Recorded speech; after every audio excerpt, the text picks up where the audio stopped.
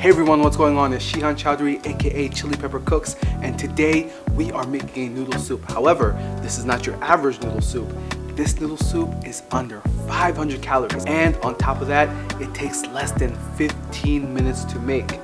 Plus, it's packed with so much flavor. So let's get started. First, we're gonna get our pan, and into that pan, we're going to put in about a tablespoon of white miso paste here I'm using white miso. White miso is a little bit lighter and, and, and, is not as strong as like the red or the darker miso.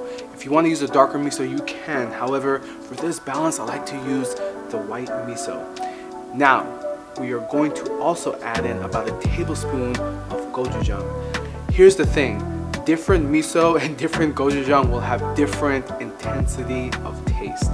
Of course, you can always increase the intensity of these flavors by just adding in more of that white miso paste or the gochujang. Next, you can add in brown sugar, uh, one to two teaspoons of brown sugar. However, we are going to add in the Thai chili pepper honey, the best hot honey on the market.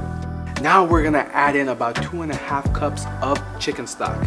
I'm using chicken stock, however, you can use vegetable stock or beef stock or even seafood stock. Now we're going to bring this to boil. Now as it comes to boil, we're gonna be constantly stirring so that white miso and the gochujang kind of spread into that uh, uh, stock properly. Once it comes to boil, then we are going to add in our glass noodles. These glass noodles, the whole packet is only 350 calories. These glass noodles are made with sweet potato.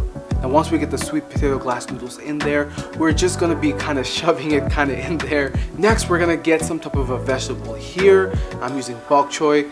You are free to use whatever type of vegetable you want. I kind of like the bok choy. It kind of gives me the, the greens that I need. And then we're just gonna let this boil for about three to four minutes and then we're going to get one egg and we're gonna scramble it and we're gonna put in our scrambled egg in there. And now we're gonna let this cook for about another three minutes and then we're gonna turn off the heat. We're gonna transfer it into a bowl. Now at this point, I do like to taste and adjust for salt. Uh, like I said, miso is salty by nature, but if you didn't put enough in there, you might need a little bit more salt. And also I like to add in some type of a protein, so I'm putting in some baked chicken thigh in there and then we're just gonna garnish it with some green onions. And there you go, that big bowl of soup is ready for you to devour. Okay, now for the taste test. Let's get some of those noodles. Wow, that broth is just so flavorful. This is so good, I'm telling you. It seems like it's been cooking for hours and hours, that broth, just made it in less than 15 minutes. This is so good. I can't wait for you to try this. Until next time, I'll see you later.